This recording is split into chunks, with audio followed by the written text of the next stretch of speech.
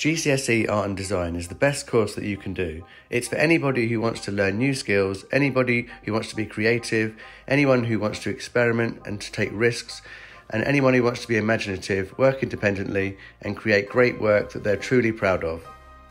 It doesn't matter how good you are at the moment, we can get you better. 60% of the course is all done in class and is your coursework, 40% is your exam. The good news is you get the exam project months before you take it, so we can spend a long time working up the ideas and making sure you're really ready by the time the exam day comes round. Assessment at GCSE is really easy. You have four assessment objectives to meet develop, refine, record, and present.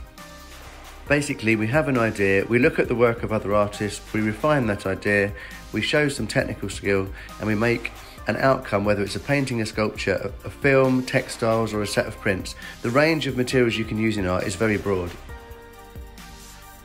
Throughout the course, you will have the opportunity to engage in personal interests within your work, go on art trips to different galleries in London, and attend an informal art catch up club after school.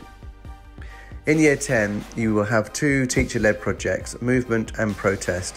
In movement, this is largely a painting project looking at the figure and the portrait.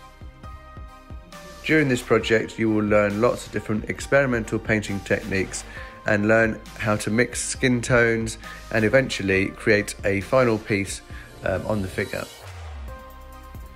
Here are some paintings for our movement final pieces over the last few years.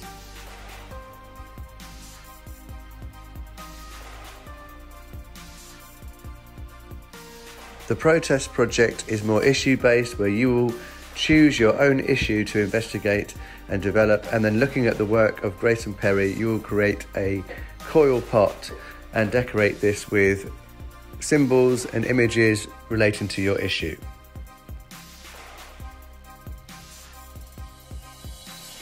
Here are some pots that have been created by students in previous years. Year 11 is all about you. It's all about having your own independent ideas. We will give you a title or a theme for a project, and then you will put your own interests into that theme and develop your ideas from there. Here is a student, a current student in year 11, who can tell you a little bit more about this.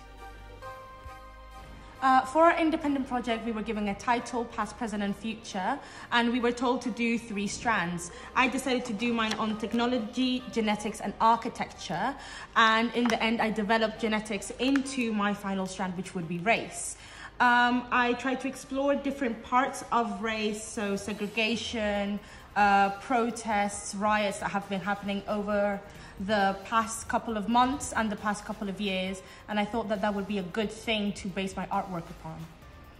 So one of the first artists that I looked at when I went into my independent project was Kara Walker, who looks as uh, social and racist issues when it comes to race, and she very greatly delved into things that had to do with race. I was inspired by her to do a silhouette to, of my mom, which was similar to hers, which also led to my five hour piece, um, which is a silhouette of my mom that includes um, slavery images, um, places where we're from, things that included um, the transatlantic uh, slave trade.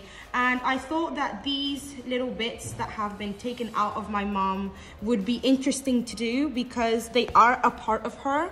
And I thought that that would be a good idea to sort of look into when doing this piece. Studying art gives you a really good start in education and in your career. The UK creative industries and the creative economy, of which uh, the arts is the main feature, is one of the biggest employers and one of the biggest growth sectors in the UK for the last 10 years. Studying art is a fantastic step towards an exciting future. Did you know the man who designed the iPad and the iPhone studied art at university? Many video game designers studied art, as, as did filmmakers, visual artists, hair and makeup artists, fashion designers, photographers, people who work in a million different industries all got their start studying art at GCSE.